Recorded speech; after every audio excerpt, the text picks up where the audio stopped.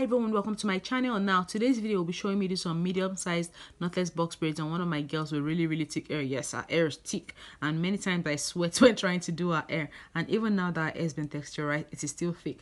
And combined with the fact that she's super tender-headed man i'll let you do the imagining. So the hair we use is from amazon. It's one of those nicely colored synthetic hairs from amazon. Actually i don't like buying braiding hair from amazon because most times the color is really vibrant but the quality is whack. I mean whack whack whack. Bad quality hair. Is that bad grade of synthetic hair that will not dip well in hot water and will just always mess up the ends of your braids. The hair came in a pack of five bundles and we got two packs but we used only one. The braids are like waist length which is pretty decent in length.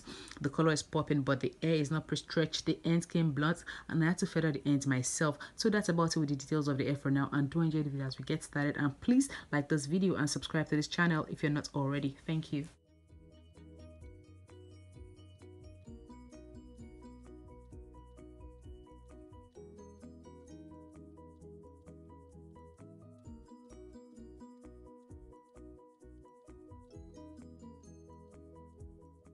And did I mention that we spent like an hour blowing out our hair and of course we broke a comb as always.